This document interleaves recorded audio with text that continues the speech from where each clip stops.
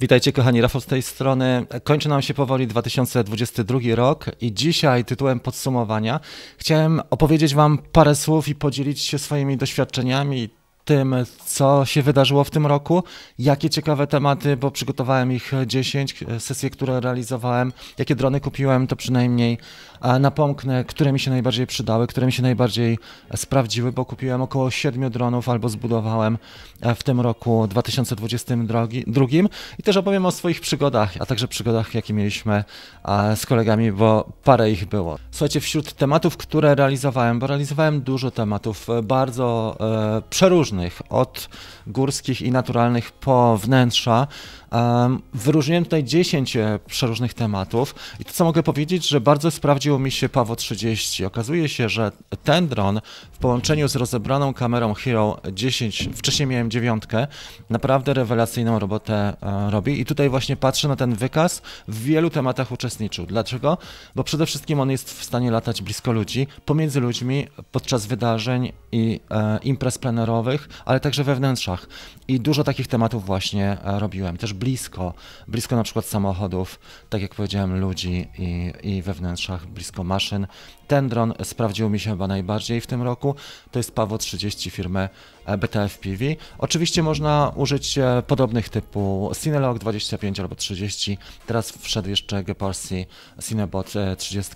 Bardzo fajne konstrukcje. Jest też Avata, która jest nieco głośniejsza, ale też bliźniacza. Słuchajcie, fajna sesja, którą robiliśmy. Powiem tak randomowo, nie będę ich e, jakoś specjalnie w hierarchii dzielił i wyróżniał, ale bardzo fajną sesję, czy kilka sesji robiłem z Olą, która jest tancerką i instruktorką fitness.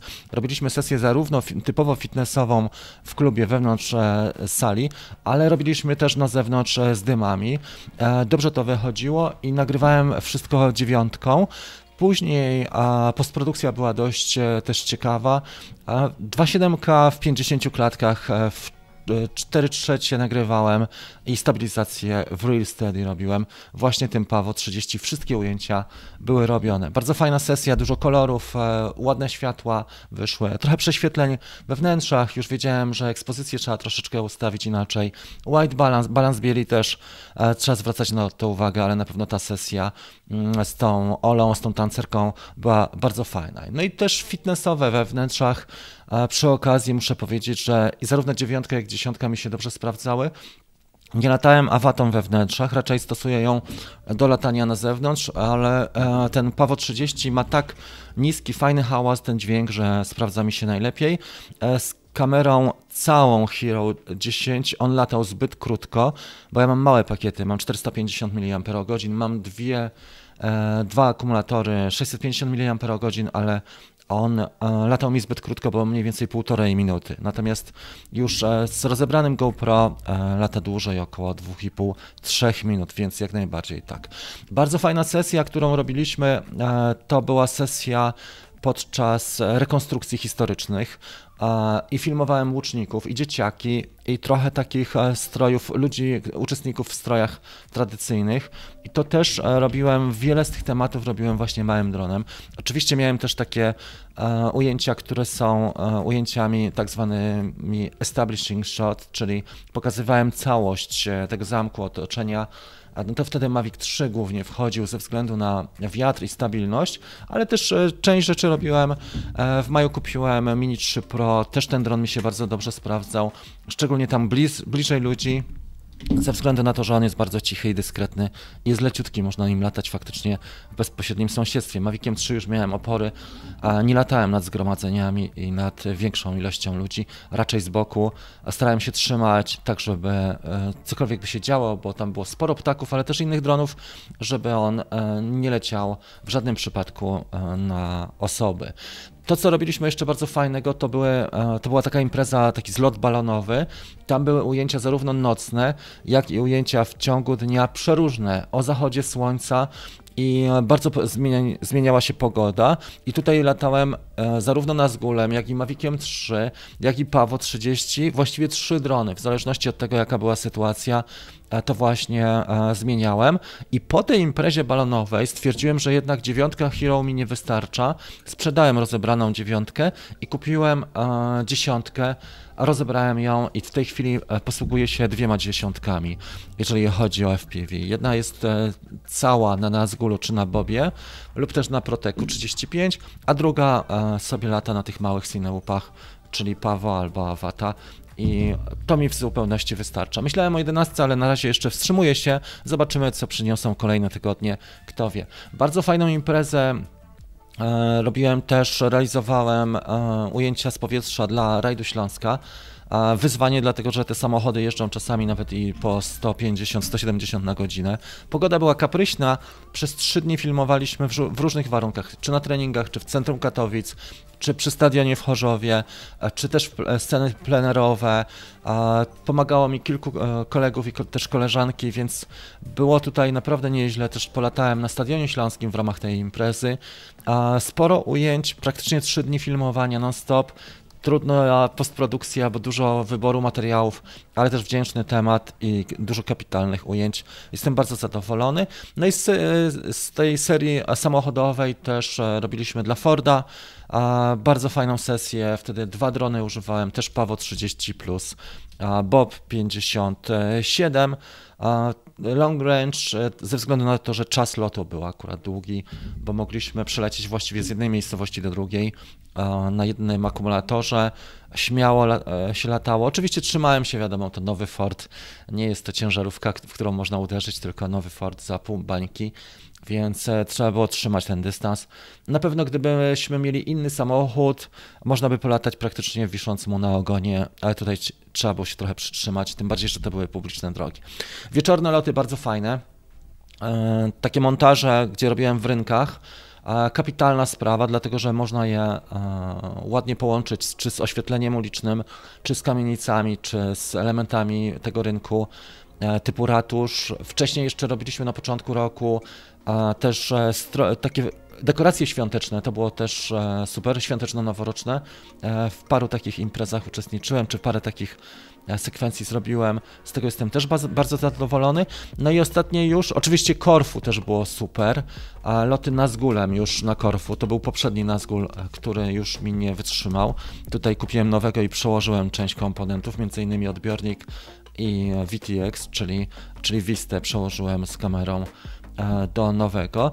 To, o czym chciałem powiedzieć, na pewno loty nad wodą, takie jak na Korfu, to była petarda. Pierwszy raz latałem tak blisko powierzchni wody, bo mniej więcej trzymałem się na metrze, pomiędzy kamieniami, wielkimi głazami, też dużo było takich ciekawych skał tam, fantastyczne oświetlenie, dużo plaż e, kapitalnych. No i też pociągnąłem całość jeżeli chodzi o loty nad wodą, cały rok latałem ten ciepły nad wodą. Jedyne utopienie to było spektakularne awaty, a reszta było w, porządku. Nie, nie miałem więcej przygód, jeżeli chodzi o utopienie. Patryk e, utopił swojego Nazgula, ale bez żadnych konsekwencji. Ja mu wyczyściłem i wszystko grało, dlatego że miał e, elektronikę pokrytą lakierem. Więc tutaj e, takie mieliśmy przygody. I podsumowując sesję, jeszcze to co mogę powiedzieć, bardzo dużo latałem jesienią, żeby złapać ten moment światło i też zimowe klimaty, które mieliśmy niedawno. Minus 10 słonecznie i wyszły naprawdę bardzo ładne ujęcia, zarówno z tych jesiennych klimatów, jak i z klimatów zimowych. Jestem bardzo zadowolony. Wykorzystałem to, co mogłem i ujęcia są naprawdę super. Oczywiście fajnie byłoby być też w jakichś innych okolicach, ale to, co mam, e, na pewno nie mogę narzekać, bo mam dużo takich ciekawych jurajskich klimatów i zamki, E, i piękne wzgórza, i fantastyczne miejsca, i dobre oświetlenie, i kapitalne, kolorowe lasy. E, nie ma co narzekać. Słuchajcie, jeżeli chodzi o przygody, na pewno zgubienia dronów były takie spektakularne, bo zgubiłem w kwietniu na zgula na dwa dni tego poprzedniego, ale go znalazłem, wisiał na drzewie. To było spektakularne odnalezienie. Straciłem podgląd w goglach, i wyczerpał się akumulator, bo jak on wisiał na drzewie, to szybko zaczęło, zaczęły silniki pracować. I faktycznie ciężko go było znaleźć. Szukaliśmy dwa dni, ale znaleźliśmy.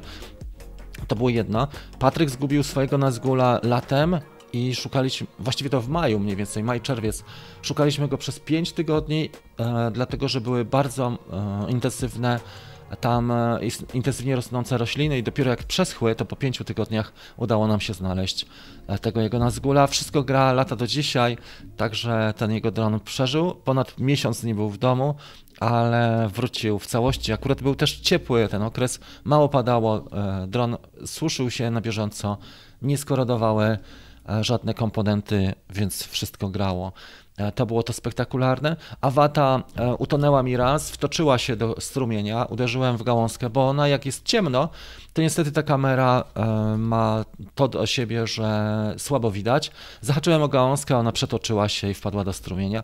Wyławiłem ją, wymieniłem na DJI Care. 47 mniej więcej euro mnie to kosztowało bez VAT-u. To jest ta kolejna przygoda, którą miałem. No i Bob 57, e, który najpierw mi zginął we mgle e, i też go szukałem dwa dni.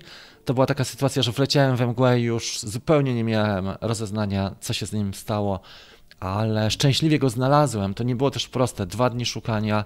E, wątpiłem wiele razy, ale go znalazłem.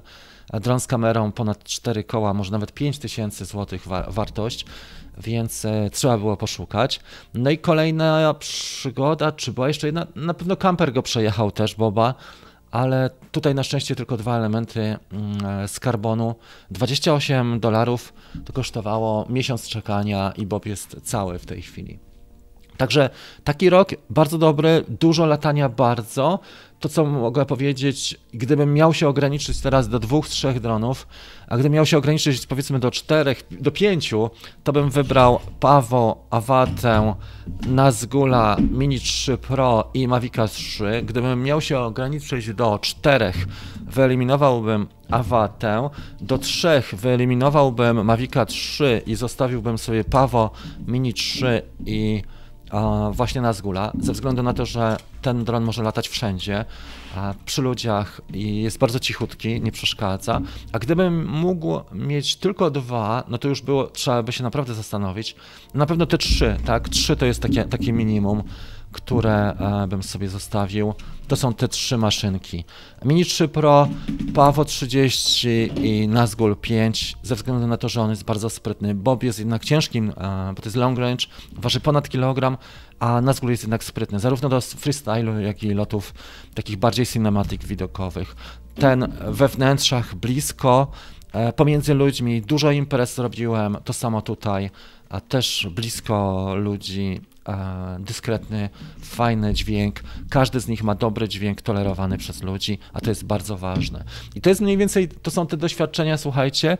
Na pewno na przyszły rok wiele rzeczy chciałbym zrobić, nie wiem jeszcze co dokładnie mi wyjdzie, ale chciałbym wiele rzeczy zrobić dla ludzi, czy wyzwania, czy programy edukacyjne, bo dużo się dzielę też z doświadczeniami na bieżąco, więc na pewno to, na pewno kupię e, mini trójkę zwykłą, e, bez Pro, bo już ten Pro jest, ale trzeba też zainwestować dla kanału w mini 3 zwykłe, to będzie już w styczniu.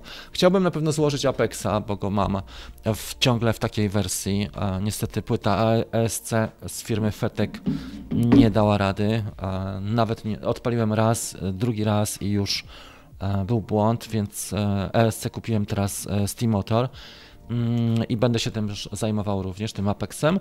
A kto wie, co przyniesie ten rok, zobaczymy, bo też trudno to określić. Może chciałbym mieć też Hero 11.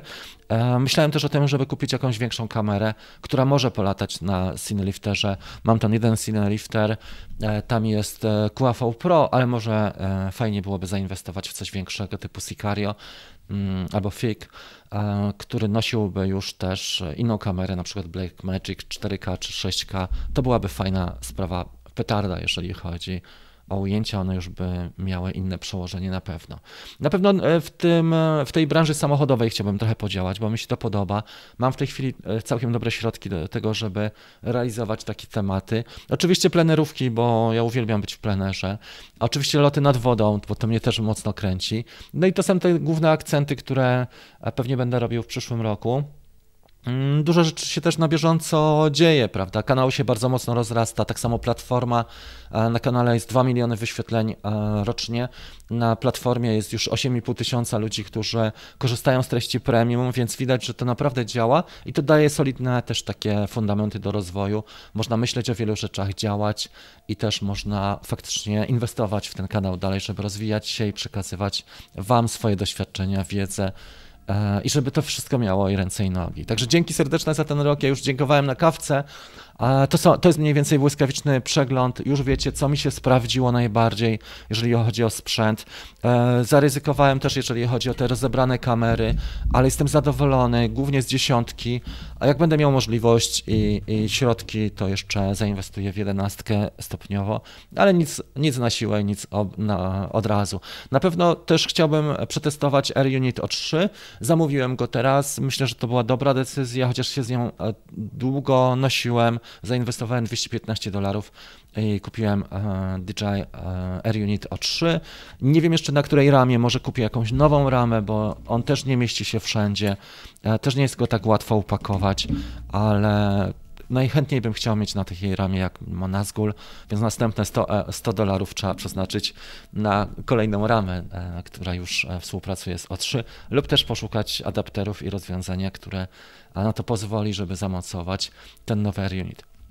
To jest chyba tyle na dzisiaj. Bardzo serdecznie dziękuję Wam za e, uwagę. E, dla wszystkich osób, które zaczynają, robią te pierwsze kroki z dronem, pamiętajcie o tym, że mam kapitalny warsztat, który specjalnie nagrałem na, na E, tę okazję wejścia do świata dronów. Tam jest trochę na temat wyboru modelu, Twojej wizji, żeby dron nie e, leżał Ci e, w szufladzie po dwóch czy trzech miesiącach i o tym, jak skąd czerpać motywację, jak się rozwijać, żeby to dawało kupę satysfakcji, ale żeby też Twoje umiejętności z czasem rosły.